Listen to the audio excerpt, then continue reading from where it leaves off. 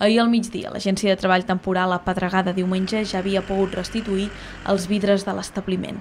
El causant d'aquestes noves destrosses, un home de 43 anys, un rodamont que feia dies que es trobava a la ciutat segons la policia municipal, va ser detingut diumenge després de ser enxampat infraganti pels Mossos d'Esquadra.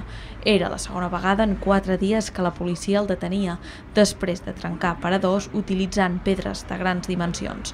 La primera vegada va ser dijous passat. L'individu l'individu va trencar quatre paradors d'establiments ubicats al carrer Sant Rafel, una òptica, una botiga de roba i complements esportius, una de roba infantil i una joieria, sense que encara hagi explicat els motius que van portar-lo a fer-ho.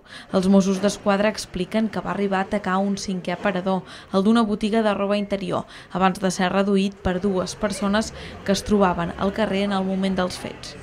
Després de la seva detenció va arribar-se a valorar el seu ingrés en un centre psiquiàtric. Finalment, divendres el jutge en decretava la llibertat amb càrrecs per un delicte de danys.